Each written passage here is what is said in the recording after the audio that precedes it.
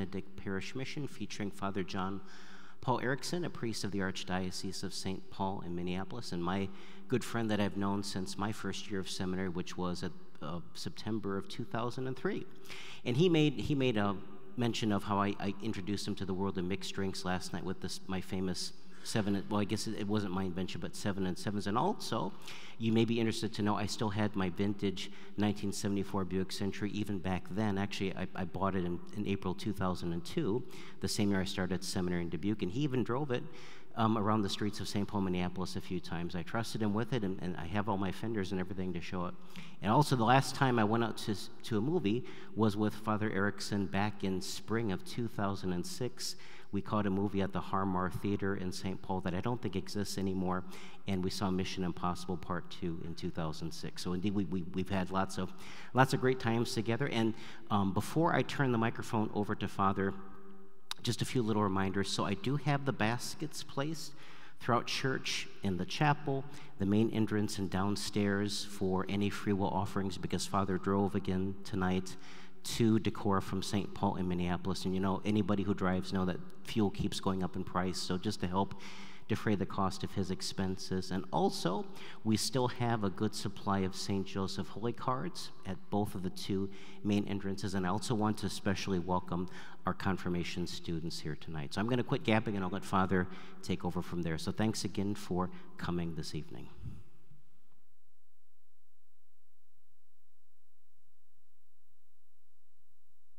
Well, thank you, Father and Brother. Uh, my name again is Father John Paul Erickson. Grateful to be here with you all. Uh, enjoyed my drive yesterday and enjoy, enjoyed my drive tonight. So, even though I cut it kind of close, uh, so I'm sorry for any anxiety caused to your Reverend Pastor, but grateful to be here in this beautiful church. I don't think I reflected adequately enough last night how really lovely this church is. So, uh, it's a delight to be in here. I also want to welcome our confirmation students or St. Benedict's confirmation students. I hope and pray that something I offer tonight may be of interest and of use to you.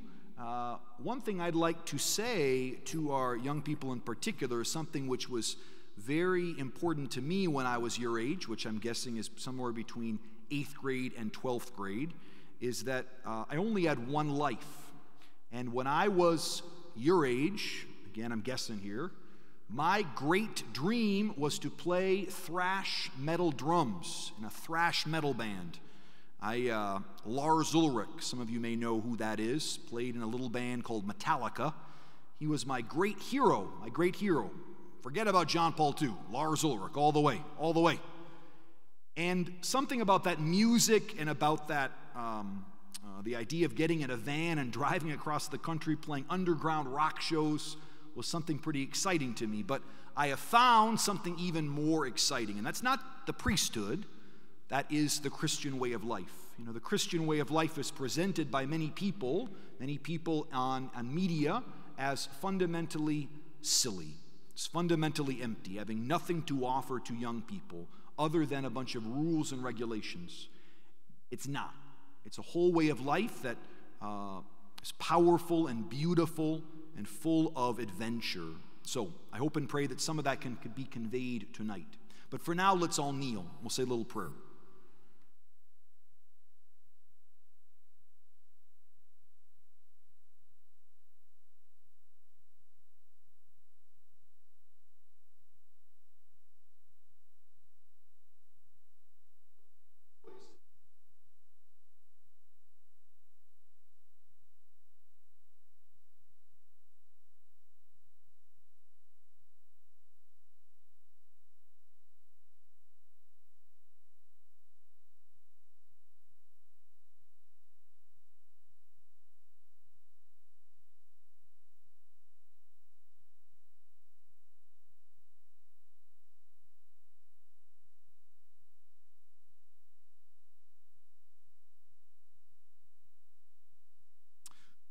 Well, my brothers and sisters, our topic tonight, our title is Take Mary into Your Home, St. Joseph and the Call to Christian Community in a Socially Distant and Distancing World.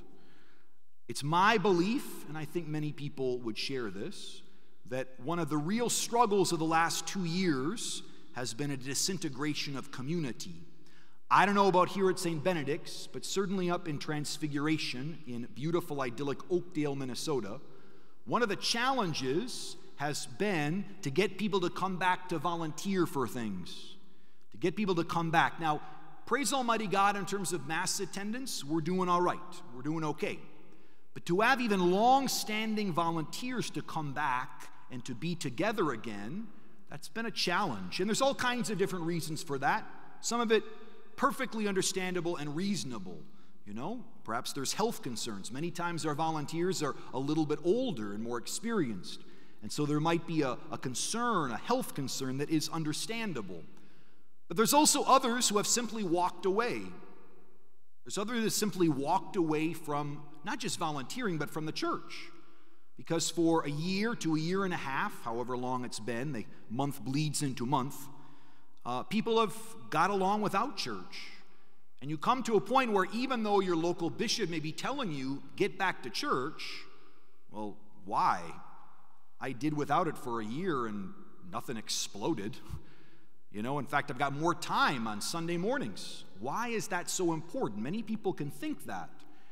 And so we have a, a, great challenge as a church. How do we bring people back together as community in this particular time? And to be perfectly honest with you, uh, the bigger part of the presentation is not going to be about offering you particular uh, tactics how to do that. We're all trying to figure that out. I think it's a cultural problem. There's a cultural problem. Already, many people were kind of on the margins of church participation, and when you eliminate it for a full year, and again, nothing disastrous seems to happen, uh, that's a hard bridge to cross.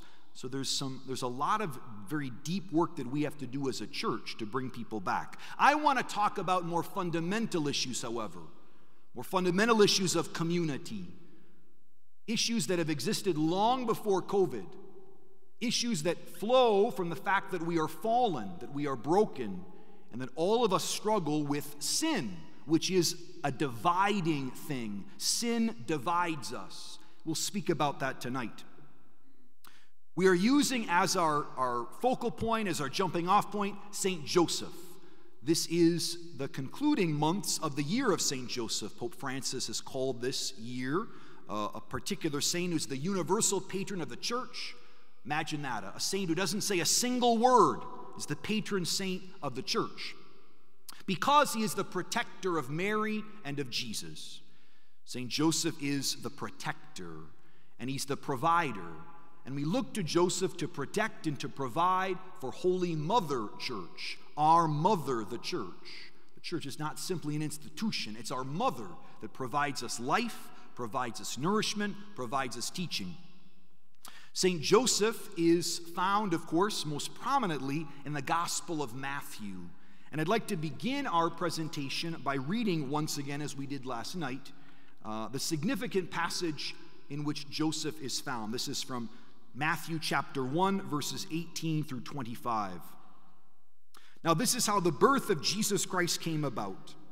When his mother Mary was betrothed to Joseph, but before they lived together, she was found with child through the Holy Spirit. Joseph, her husband, since he was a righteous man, yet unwilling to expose her to shame, decided to divorce her quietly. Such was his intention when, behold, the angel of the Lord appeared to him in a dream and said, Joseph, son of David, do not be afraid to take Mary, your wife, into your home, for it is through the Holy Spirit that this child has been conceived in her. She will bear a son, and you are to name him Jesus, because he will save his people from their sins. All this took place to fulfill what the Lord had said through the prophet Behold, the virgin shall be with child and bear a son, and they shall name him Emmanuel, which means God is with us. When Joseph awoke, he did as the angel of the Lord had commanded him and took his wife into his home. Last night we reflected upon that expression, do not be afraid, given to Joseph. Don't be afraid, do this. And Joseph does it. And we spoke about some of the, for, the, the sources of fear that people grapple with and how we are called to overcome those fears by acknowledging the inordinate loves that cause those fears. For those who were not here last night, the kind of the, the, the biggest part of my talk was trying to make the argument that what we are afraid of flows from our experience of something we love being in danger. When we're afraid of something, it's because we perceive that thing as being a danger to something we love, whether it's our body, whether it's our comfort, whether it's the person that we love, whether it's our relationship with God, whether it's a pizza, okay? If we experience the sensation of fear, it's because something that we love is in danger of being taken away, of being blocked from us, whatever it is. And last night we tried to make the case that three fundamental fears the fear of, of being asked to do too much by God, or for that matter, by others, the fear of being humiliated, of being thought less of by other human beings, the fear of discomfort, all of these fears come from an inordinate love of something, an inordinate love, particular love of self, a love of the opinions of others, a love of comfort. One aspect of our talk last night that we did not get to was Joseph specifically. We spoke a lot about inordinate loves, but let's talk about ordinate loves. Let's talk about the love that Joseph had and how that was ordered and how that led to proper fear. So this is a little bit of a little bit of a finishing up of last night. St. Joseph, I would offer, has two fears in his life manifested in this passage that all of us should foster, all of us should pray for. Two specific fears. This might strike us as odd to pray that we might be afraid of things but indeed, I think that this is good and important. First of all, we should pray to be afraid of hurting people, of offending people unnecessarily, of disregarding them. We should pray for a fear of that. Now, it can't lead us not to speak in the face of injustice. We can't be crippled by the desire to always be liked. We spoke about that last night. This fear of this cowardice that comes from, I always want to be liked. No. But there is something to be said for a deep concern about the feelings, about the experiences, and about the well being of others. It flows from the ordinate love of neighbor, our ordinate love of neighbor.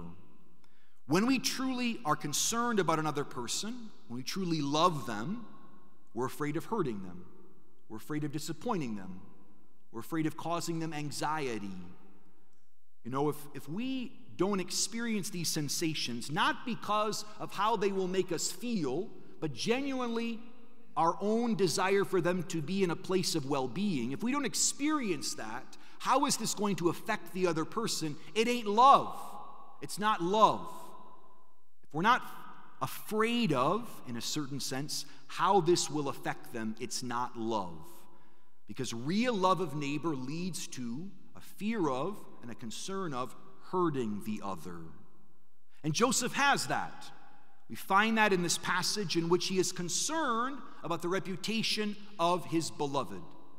The Blessed Mother is found to be with child before they live together, and Joseph is concerned about hurting her reputation because he actually loves her and so he wants her well being, he wants her good. He is concerned about her, not because of what he's going to get, but about her, even devoid of his own relationship with her.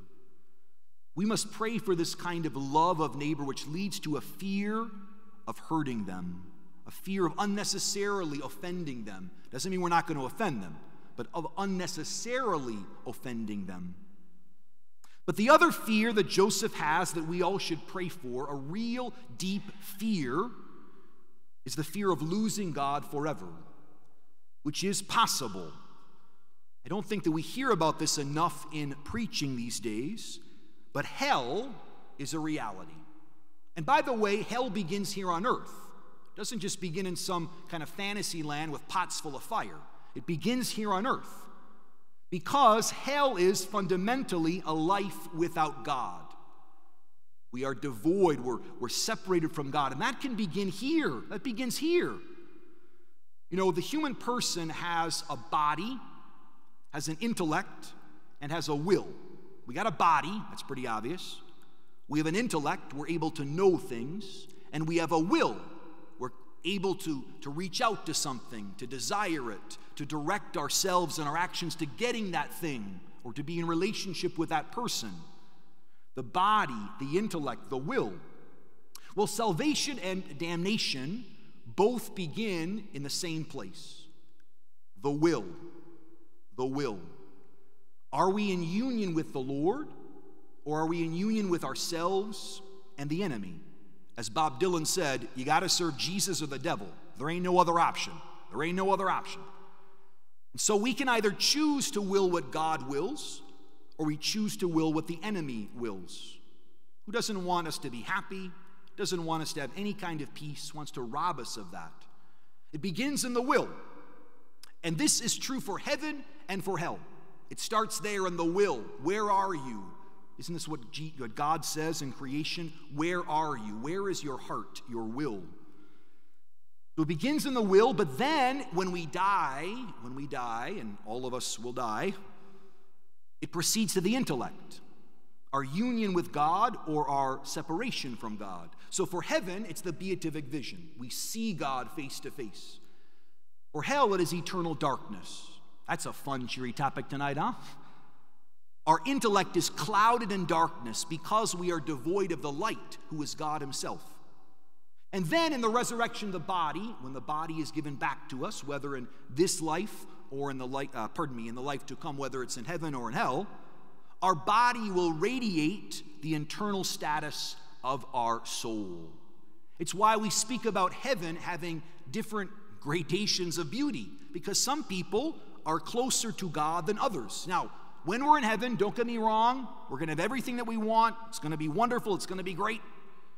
But the Blessed Mother has a greater physical beauty than someone who has sort of walked in the Christian way of life in kind of a mediocre way in this way of life. They're in heaven, praise God for that, but their, bo- their bodies are manifesting the interior union of their intellect and their will. All I'm trying to say, all of this is the wind up pitch to say that hell is possible. And again, you don't got to wait for some fantastical realm with, you know, guys with pitchforks. It begins here on earth. Hell begins on earth, but so does heaven. Not just because the pop song says so heaven begins on earth, union of wills with God. And Joseph is afraid of offending God because, and here I speculate, of course, but I think it's a pretty good speculation, he doesn't want to lose that relationship with God. He doesn't want to lose that relationship. And so, Joseph, when he hears the command of the angel, he does it. He walks, he wakes up, and he does what is asked of him. He doesn't dilly dally, he doesn't procrastinate, he does what is asked of him because he loves God. Fear flows from love. Fear flows from love. It's a good love or it's a bad love. Bad love can lead to enslaving fear. We're afraid of, again, being humiliated. We're afraid of losing our comfort. We're afraid of not being in control. But good love leads to noble fear, a fear of offending others unnecessarily a fear of losing God because of love of God. All right, moving into our subject for tonight community. Community. Brothers and sisters, we as human beings are made in the image and likeness of God. Scripture says this quite clearly. Let us make man in our own image. And the human being, what this means is, is that we're made for communion. We're made to be in relationship with others. And the political philosophers like Aristotle, like Plato, they knew this very, very well. They speak of the human person as the political animal. Now, that doesn't mean they're the animal that machinates and is Machiavellian and manipulates. We have kind of a, a, a jaundiced view of politics these days. Gee, I wonder why. What this phrase means, the political animal, is we gather together in cities. Politics comes from the Greek word polis, city. We gather together. We're naturally social beings. You see that in the cafeteria, and you see that in the uh, church hall, and you see that on cable channels. Conglomerate together, we go to others, we want to be with others. And when we're not with others, it causes profound damage. It causes profound damage to ourselves. Isolation is a terrible, awful, foul thing, and it distorts us and it, it wreaks great havoc upon the human soul and the human spirit because we are made to be with others. Now, the Christian knows why this is. Some political philosophers said that we gathered together because of evolution, and that when we were Neanderthals, we discovered that if we don't bond together on the campfire, some other clan's gonna come in and kill us, you know? So we gotta come together. So the city or community is a convention. We have to have it because otherwise we're in danger. The Christian doesn't believe that. The Christian believes that the desire to be in communion with others is flows from our natural makeup. What I mean by that is our nature. We've been made in the image and likeness of a God who is a trinity of persons, the three in one and the one in three. So we cannot not need community. No matter how much of an introvert you may be, no matter how independent you may conceive of yourself, you need others. How we come into being flows from other people, our relationship with them. Think about that. Who I am is directly connected to and shaped by my relationships with others. My parents growing up, my spouse, my colleagues, they're constantly helping me to become what I am. We do not make ourselves. We are made by community. Now, we as Catholics were people of the both and. We're people of the both and. And what does this mean? This means that we believe in a kind of a tension. Anybody who wants to put Catholic dogma or doctrine into a box that illuminates all other realities, we call that in the business a heretic. Either God is all justice or he's all mercy. Either Jesus is just a great teacher or he's a God who just looks like a human being. Either the church is all divine or all broken. We as Catholics reject this dichotomy. We believe in the both and, very, very important principle. Both and. And so our desire for community, which comes to us because of how we are made, also struggles with the and of sin. We struggle with the and of sin. So we want to be loved by others. I want to be loved by you. We want them to love us and we want to love them. We want to know them. At the same time, we see them at some level and treat them oftentimes as a danger or as an object to be manipulated like on a, like on a stage, something to be controlled. This is because of sin, because of the fall. We have within ourselves the desire for communion but also the drawing away that is found right there in the beginning of the Bible in the book of Genesis. And so, like I did last night, I'd like to go to that story of the fall. Last night, we used the, the three attributes of the forbidden fruit to describe pride, uh, vanity, sensuality. But tonight, we'd like to speak about some of the consequences of sin and the divisions that the fall has caused within our world, and then we'll focus specifically on the division between persons and how the Mass helps draw us together and what the lessons we receive from the Mass are. All right. Now, the serpent was the most cunning of all the animals that the Lord God had made. The serpent asked the woman, Did God really tell you not to eat from any of the trees in the garden? The woman answered the serpent, We may eat of the fruit of the trees in the garden. It is only about the fruit of the tree in the middle of the garden that God said, You shall not eat of it or even touch it, lest you die. But the servant said to the woman, You certainly will not die. No, God knows well that the moment you eat of it, your eyes will be opened, and you'll be like gods who know what is good and what is bad. The interesting point here, one of them, is the devil is sort of telling a truth, isn't he? Because our eyes are opened by consuming the fruit. But we don't know evil like God knows it as an absence. We now know it within our bodies. We know it in cancer. We know it in betrayal. We know it in sin. So, yes, we will come to know good and evil in our very selves, not like God, though. That's how the devil works. He tells us half truths. The woman saw that the tree was good for food, pleasing to the eyes, and desirable for gaining wisdom, like we talked about last night. So she took some of its fruit and ate it, and she also gave some to her husband who was with her, and he ate it. And then the eyes of both of them were opened, and they realized that they were naked.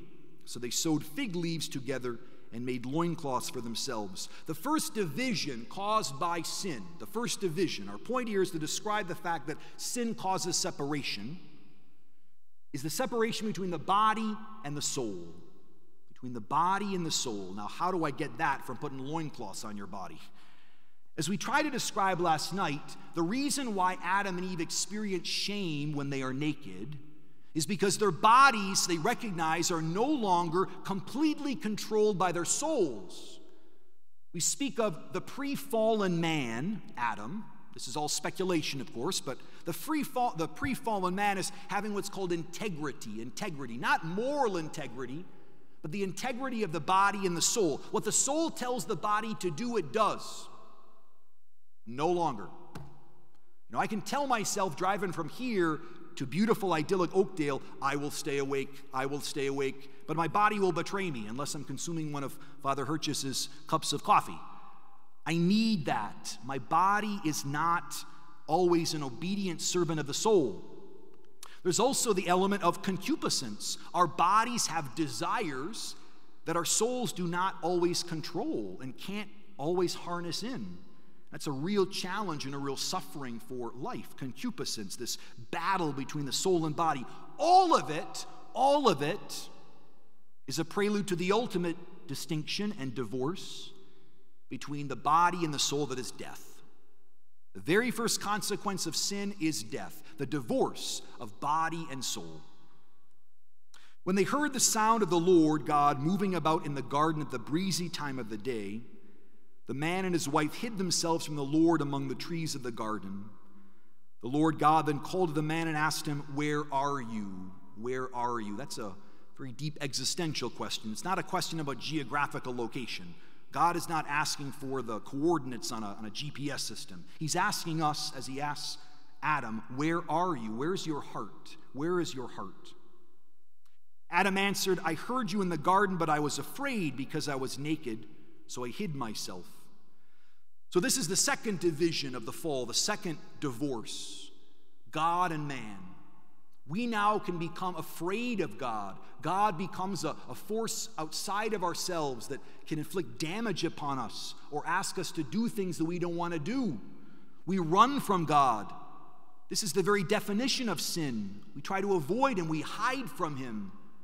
In some sense, hell is just an eternity hiding from God behind a tree like a little child trying to hide from its parents. An entire eternity. I will stay here. I will here. The second divorce caused by sin is our separation from God, a divorce from God. Then God asked, Who told you that you were naked? You have eaten then from the tree of which I had forbidden you to eat. And here we get to the crux of tonight. The man replied, It's on me. It's my fault. Now, he doesn't say that. Now, just kidding. The woman whom you put here with me, she gave me fruit from the tree, so I ate it. She made me do it. These hands that are meant to comfort and to console now accuse Eve. Adam, who had said just a couple of lines before, bone of my bone and flesh of my flesh, she is me and I am her now sees woman and all of the rest of humanity as other, other. She's no longer the one I'm supposed to take care of and walk with. Now she is an adversary. Now she's a source of danger. And here we have the division that we grapple with and wrestle with in our own communities and with sin separation. Separation from one another. We forget that we are made of the same flesh and blood and that we are our brothers and sisters. Now, very quickly, I want to speak here about that fourth division, just real quick. The Lord God then asked the woman, Why did you do such a thing? The woman answered, The serpent tricked me into it. Of course, it's always somebody else's fault, right? That's what the that's the the uh, the classic response. So it's not my fault. The devil made me do it. So I ate it. Then the Lord God said to the serpent, Because you have done this, you shall be banned from all the animals and from all the wild creatures. On your belly you shall crawl, and dirt shall you eat all the days of your life. I will put enmity between you and the woman, and between your offspring and hers. He will strike at your head while you strike at his heel. To the woman he said, I will intensify the pangs of your childbearing. In pain shall you bring forth children. Yet your urge shall be for your husband, and he shall be your master. Now, I want to speak very briefly about this. Why is it that God, to save us, dies on a cross? Why does he suffer? Why is, for the Christian, redemption always connected to death? Why is it connected to death of self? Why is it connected to blood? Why do we need a, why do we need a human sacrifice to be saved? And the answer, I think, in a very real way, is found right here. Because in a fallen world, to love, you must have pain, or at least, at least, be open to it. If you are not willing to suffer for someone or for something, you don't love it. You might have a crush, you might have warm, fuzzy feelings for the person, but you don't really love them. Real love is found in the willingness to suffer for the other. The image of childbirth being a source of pain is an image of the cross, the cross, life through death. Beautiful chants and the songs of heaven, the cries of difficulty. But then, to the man, he says, because you listened to your wife and from ate from the tree of which I had forbidden you to eat, cursed be the ground because of you. In toil shall you eat its yield all the days of your life. Thorns and thistles shall it bring forth to you as you eat of the plants of the field. By the sweat of your face shall you get bread to eat. Again, a reminder that only from suffering comes life. Until you return to the ground from which you were taken, for you are dirt, and unto dirt you shall return. So, how it was supposed to work was the garden was supposed to give to Adam and to Eve everything they needed. They would tend it, they would, they would plow it, and it would cooperate. No longer. No longer. Now, nature itself is at odds with the human person. Now, it doesn't always work that way. Driving down here, I, like I said yesterday, I saw perhaps the most beautiful sunset I've ever seen in my life. In my life and the beautiful fields and surrounding countryside here in Iowa. Reminder to us it's not all bad. Goodness gracious, it's not all bad. Just like the human person, even though we're inclined to sin, it's not all bad. We have the capacity for greatness and for heroicism. But there is a tension. Because of this tension, we have tsunamis that kill hundreds of thousands of people in a single day. Because of this tension, we have earthquakes that rip apart the world and bring people to their graves. Because of this fall, we have asteroids falling from the sky. Please don't happen tonight, okay? Because of the fall, because of sin, we have a division between man, who was meant to be a gardener, and nature. And because of this, there's always this struggle between man and nature. It's why we have to build dams, it's why we have to, to build houses to protect ourselves from the weather. It's hard for me to believe that in the Garden of Eden it ever got to 130, okay? I'm just saying. It's hard for me to believe. But because of the fall, we're at this kind of separation from nature. All right. All of that meant to be a big context for that third division between human persons, which community is an attempt to heal, to come together as one to come together as a community. And again, within every human person, there is this tension. We want it, and yet we also rebel against the people that are sitting next to us. We see the other as one like ourselves to love and to be loved, and yet we also see them at times as an adversary, as an enemy, as someone who can hurt us and can wound us, and we can accuse them of things. I want to speak probably for about the rest of, of this evening, and we will conclude no later than 8, perhaps even a little bit before that, we'll see. I want to speak about the Holy Mass, communion, as an antidote to this uh, desire to separate and to point at each other and to accuse each other and to put each other into boxes. Long before COVID, although I think some of the tensions of COVID have exacerbated it, you had divisions being made, lineups being made. What news channel do you listen to? What news source do you receive your news from? What blogs do you follow? What political candidate do you follow? What kind of what colored sign do you have in your front yard? And all of these divisions, which are again uh, exacerbated and are manipulated by pundits who I'm convinced don't believe half of the things they even say. And then we got you all divided up, y'all. We got us all divided up. You know, where do you fall? Where, where are you found? What box can I put you in? When we put human beings into boxes, we have already begun to surrender to sin. Sin is not just in the will, it's also in the intellect. When we, how we see each other, how we conceive each other. We can see each other as just a political opinion, as just one.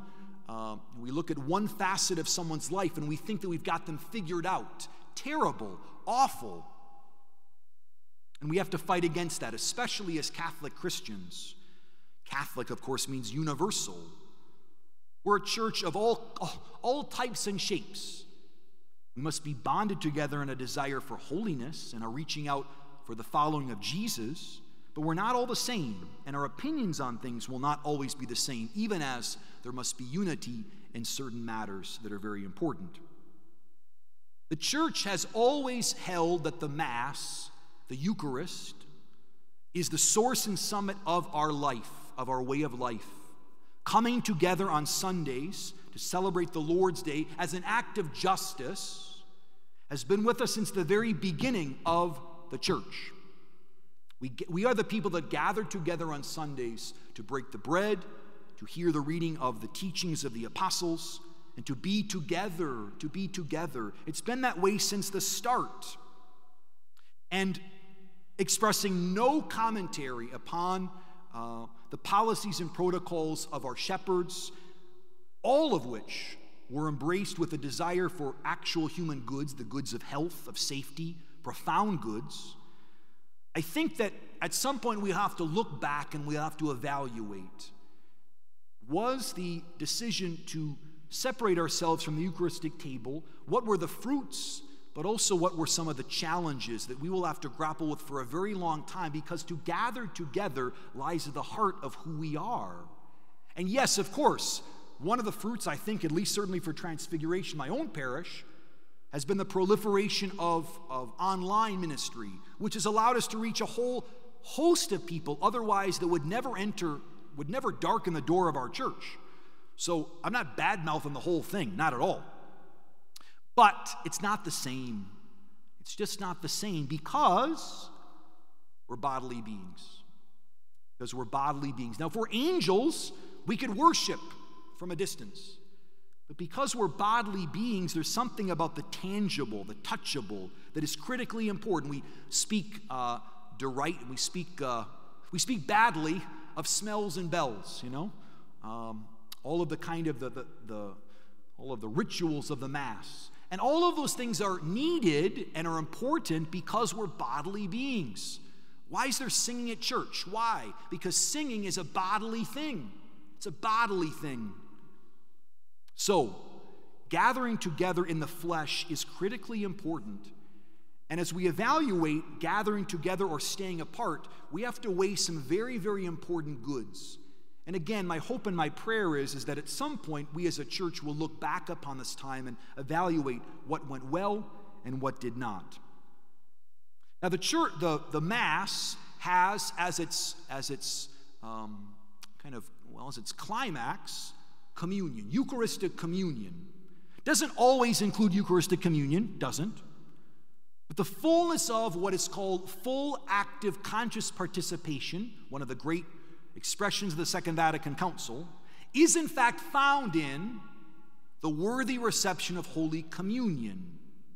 Now, worthy reception, what I mean by that is an attempt to surrender, an attempt to follow the Lord, an attempt to conform ourselves to the mystery of that host, little, silent, humble, broken, nourishing for the people of God. That's us. That's supposed to be us. And this reception of communion worthily and well, that's really the, the pinnacle of participation in the Mass. The pinnacle of participation in the Mass. Not the only way, not the only way, but it is in fact the pinnacle of the way. And why do we call it communion? because it brings us into intimate communion with Jesus and with one another. This is one of the, the pieces of Eucharistic piety and devotion that I think that uh, we sometimes forget. Those of us on maybe the more traditional side of the spectrum, which decidedly I am, okay? We can forget the, the need for community and the fact that communion is not just communion with God, just me and Jesus. It's me and Jesus through the medium of the church. The church. In fact, in the earliest years of the church, the phrase Corpus Christi, body of Christ, referred primarily to the church, the church, the assembly of believers. So, my brothers and sisters, this communion, as we come forward in the communion line to receive Jesus, we're also joined to one another. And it heals. It heals our divisions. At least that's what it's supposed to do. It's why the church says that those who are guilty of mortal sin, should not present themselves for Holy Communion because their life and their interior life is at odds with communion. And this mortal sin can happen in a thousand different ways. It's not just committed by politicians, let me tell you.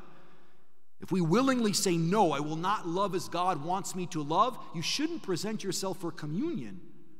That's a different thing than struggling and falling and getting back up. But if we steadfastly say, No, I will not follow this Lord, then you shouldn't come forward for communion because what communion is is a sign and a strengthening of our union with God and with one another.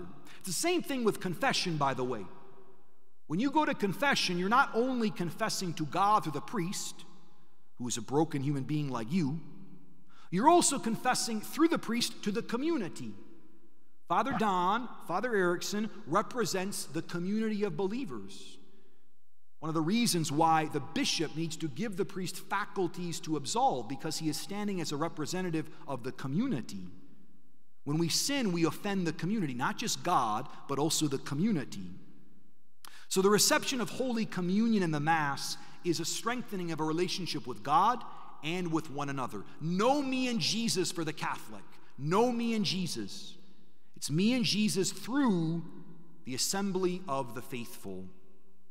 I've been told a number of times by very good and pious ladies, whom I love, by the way, I love. You know, Father, I would love, I would love the Mass more if I could come and church would be empty. you know? I could come to church and just be me in the pew and you up the altar. No, no, doesn't work that way. You're getting something a little bit off here, getting something a little bit off. Is it awkward to gather with fellow human beings? You bet your life it is. They're smelly, they can be uh, distracted, they can have all kinds of problems, they can be willful, but they're your brother and they're your sister. And when you gather together in the Mass, you are bonded together around the table of the Lord, who gathers his children together as one. Now, the struggles with community, the struggles with being in relationship with one another, I want to offer four of the chapters, you might say, of the Mass as antidotes, as antidotes of this separation that happens between human beings, COVID or not. I want to speak about the penitential act, the way the Mass begins. I want to speak about the liturgy of the Word. I want to speak about Holy Communion, or rather, beg your pardon, I want to speak about the uh, offertory and the prayer of the faithful and the Eucharistic prayer. And I want to speak about the dismissal, these four things. We've spoken about communion, the reception of communion is kind of the thing that, that binds us together. But let's talk about four other chapters of the Mass the penitential act, liturgy of the word, the prayers of the altar, and the dismissal rite. The Mass always begins, with some exceptions. Think about a funeral Mass and a, marriage rite, a marriage Mass. But most masses that we participate in, Sunday after Sunday after Sunday, begin with an acknowledgement of sin. The Mass begins not by saying, Hey, look at everybody, I'm right here. All right, Mass can start now. Yeah. No. The Mass begins with an acknowledgement I am broken. I am broken. I, am, I need to be here, not only as an act of justice to God, but because I need to be healed. Remember who it was in that parable that is justified when they enter the temple. The righteous man who comes right to the front and looks up to God and says, How great God is and how great I am. He was not justified, it was rather the sinner in the back of church who bows his head in prayer, beating his breast, acknowledging, I am a sinner, I am broken, I am in need of mercy. One of our previously beloved archbishops in the archdiocese, Archbishop Flynn, would oftentimes begin his masses, his confirmation masses. I served as, as uh, a master of ceremonies for many years in the archdiocese, and so I heard a lot of confirmation homilies, let me tell you, a lot. He would oftentimes begin that penitential act by saying, Let us acknowledge our sins, not our spouse's sin, not our child's sin, my sin, my sin. We begin with acknowledgement of my sin. How important that is. I'm sure Father Don has had the experience like me. People can come into confession and they can confess everybody else's sins, number and kind, let me tell you. But their own, it's rather paltry, you know? My spouse does this, my spouse does that. Oh, they make me so angry. Yeah, but but what do you do? What do you do? Now, how is this connected to our relationship with one another? My brothers and sisters, when we begin our relationship or strive to enter into our relationship with one another, we begin from a place of humility. We begin from a place of openness to what the other has to offer. We begin from a place of acknowledging that maybe the challenges and struggles in this relationship, maybe the tensions there, are not all their fault. That maybe I've got a part to play here. You know, as a pastor, it can be very, very easy for me to think to myself, boy, why aren't the people of God more open to what I'm saying? Don't they know this is pearls, you know? Why aren't more people coming back to Mass? Don't they know what we have here? The fact is, is that I need to be praying more. I need to be celebrating the sacraments better for my own sanctification. I need to seek to strive to empty myself and to realize it's not about me, it's about God's work in God's time and God's way. So I simply would offer that in your own relationships with one another, especially I would offer those on opposite ends of the political spectrum, you begin from a place of humility. You don't begin from a place of, I've got them figured out. If only they would listen to me. We begin from a place of poverty. We begin from a place of neediness, not neediness, you know, that's, that's uh, um, unhealthy, but a neediness and awareness that, you know what, my perspective on things is limited. And when we discover tension and conflict developing in our relationships or within our parish or within our diocese, let's first of all check ourselves. Not say, first of all, what's wrong with them, we begin by saying, How can I change? How can I grow? What do I need to repent of in my own life? You know, many, um, this might be a bit too controversial for this evening, but you know, many people can become very, very concerned, as frankly I am, about the public lives of Catholic politicians, and understandably so, absolutely understandably so. But are we praying for them? Are we offering sacrifice for them? Or do we simply see them as a problem to be dealt with? Do we actually love them? Or to begin by simply putting them into a box? So let's start with our own limitations, our own uh, flesh and bloodness. We begin from a place of humility. The moment we begin to think that we've got all the answers, the moment we begin to think that we are in the right all the time in every matter, divisions can creep in and be exacerbated. The second part of the Mass, the liturgy of the Word. As we proclaim the Word of God in the Mass, it is Jesus Himself who reveals Himself to His people. The Word of God, Jesus, who is the Word of God made flesh. Here I'd like to offer the need to listen to one another, to really listen. And not just what the words that are being said, but truly what is, where this is coming from. Where is this person's uh, objections coming from or their concerns are coming from? What fears do they have? What, what's their background? Where, where does this fit into their life? To listen to one another. Our Holy Father, Pope Francis, has called us to embrace in this coming couple of years what's called a synod process. A synod process. This is a, a phrase which means walking together. He wants a church which talks to one another, which talks to one another. We have uh, in the Archdiocese, maybe this is the same in, in Dubuque here, but certainly in the Archdiocese, we got some really, really far extreme churches. You've got churches that are what we call in the business tratty, pretty tratty, you know, very traditional. You might even say traditionalist. And you got parishes that are decidedly not, the opposite extreme as you can possibly imagine. And one of the one of the challenges is that these communities never actually talk. They got their own things going on, they got their own socials, and they never actually cross the street and talk to one another, let alone the pastors. They just sit in the rectories and gossip about the other guy. You know, that's what we do. But we have to actually listen to one another and encounter one another. It's very, very important that uh, in our engagement with one another, apart from political matters, in our families, in our marriages, we listen. You know, over and over again, one of the, one of the uh, consistent recommendations for marriage counseling, of course, is communication. And communication is a two way street. You got to listen to the other person. This is true just in our daily life, which of course means that we have to think that what they are going to offer is worthwhile, which requires love. So, in this age in which we are so surrounded by noise, noise on our phones, I don't just mean, you know, noise like music, I mean noise images and noises like blog posts and noises like whatever else the kids are looking at these days, which make us less able to really listen to one another, to one another, to hear one another. What is this person truly wanting? Which is always, of course, love. They want love, expressing it in different ways. We have to listen to one another if we want to build up community. All right, I'm looking at the clock here, so moving on. The third, prayer of the faithful in the Mass, the liturgy of the Eucharist, the, the, the, actual words of the Mass, of the Eucharistic prayer, excuse me, all of these things. Prayer, offering up to God our prayers.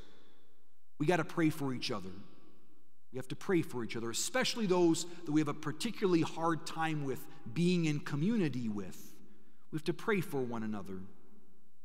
You know, in the early years of the church, St. Peter and St. Paul were not lovey dovey kind of guys. They did not like each other. At least that's one impression one can receive from the Acts of the Apostles. They didn't always get along, they didn't see the same issue through the same lens. And even St. Paul says that he confronts Peter to his face in the midst of the assembly. Boy, that must have been an awkward night, huh? Peter and Paul don't agree with each other all the time, but they prayed for each other and they loved each other. They prayed for each other. My brothers and sisters, in our communities, whether it's our families, whether it's our parish, whether it's our diocese, we have to pray for one another. We have to bring the intentions and the needs of the other person to God, and that will strengthen our communion with them. It's not going to solve all the problems, no. It's not going to make us best friends, no. But it will open up our heart to real communion. One of the aspects of forgiveness, we're called to forgive our enemies. This is one of the it's one of the non negotiables of the Christian way of life, one of the non negotiables of salvation. You have to forgive people. And one of the, the ingredients of forgiveness, it seems to me, is praying for the other person. You pray for the offender.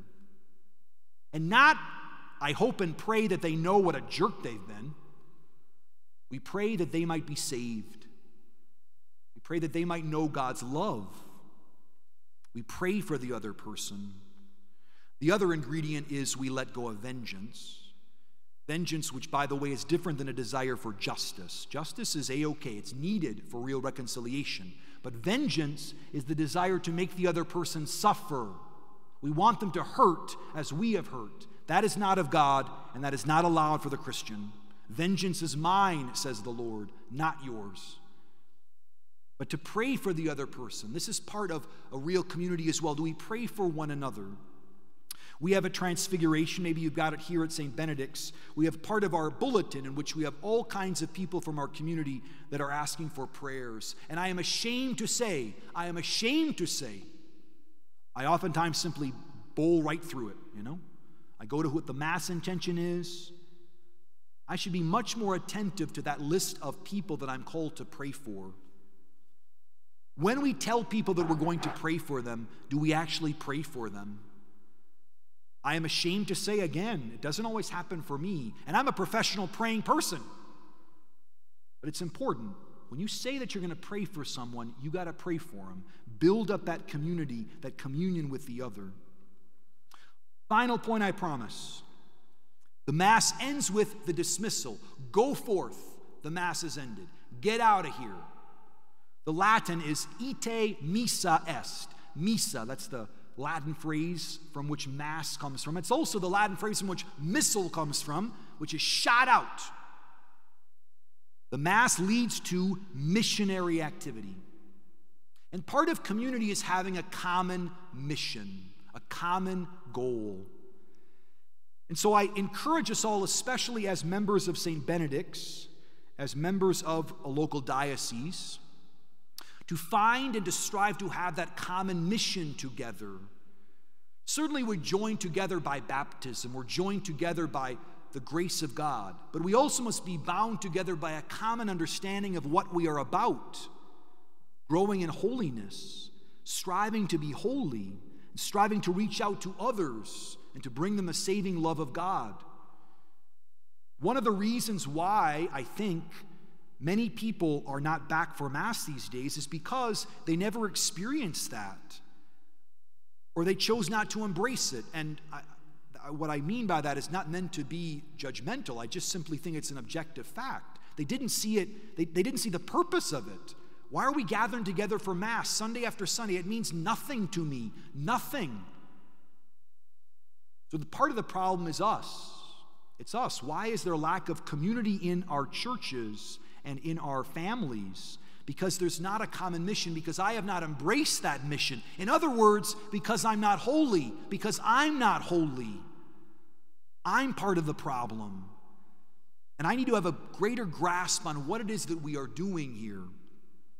At Transfiguration, we've come up with a, with a, we call the reason for being. Now, you might roll your eyeballs at that. I probably uh, would in other circumstances too. You know, why do churches have to have mission statements? I mean, come on, isn't that like, like the gospel? Isn't the gospel the mission statement, Father?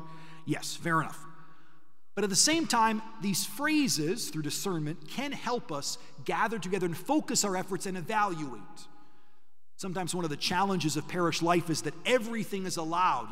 I don't mean like everything in the sanctuary. I mean everything in terms of this group wants to do this, this group wants to do this, this group wants to do this. You got this on Monday night, this on Thursday night, and there's kind of a cacophony of activity. But if there can be a common purpose, that can begin to direct things and we can march together. So, at Transfiguration, our reason for being is to bring all those in the East Metro, we're on the east side of St. Paul, to Jesus Christ, the source and summit of our daily and eternal lives. Perfect? No. But it's something. It reminds us of the missionary need of the church. And this is what we want people to buy into, to gather around, and to accept and to live. So there needs to be a common mission. Maybe part of the reason why we're so fragmented is because we don't understand what it is that we're about. What's the purpose of this whole thing? Holiness. And for that idea to grow and to spread, we ourselves must embrace it and strive to be holy. All right, it's 7:58. I'm very uh, committed to ending at 8 o'clock. I haven't spoken, admittedly, a whole heck of a lot about the dude on the front of your holy card, Joseph. We use this as kind. We use Joseph as kind of a jumping off point for courage and for community. But Joseph is indeed the paragon of both. He's a man of courageous action who hears the will of God and does it, and he's a man of unity who invites the Blessed Mother into his home. He is not afraid of her, he loves her, he wants her close, as we must strive to want each other close. I hope and I pray that something I said tonight was at least a little bit useful to y'all. Grateful to Father Don for the invitation. Allow me to also say that while it is challenging to give talks to confirmation kids, it is even more challenging to give one's talk to a family member. My brother is in the back of the church, okay? That's my brother. That's my brother. So, uh, who's also the DRE down the street, by the way. Um, so, uh, I'll, let, I'll let him give you the, the backstory on his little brother tonight. But let's pray, and then we're going to have a time of Q&A. Nobody's got to stay for it. You don't got to stay for it, but I certainly would be willing to entertain questions. So please kneel.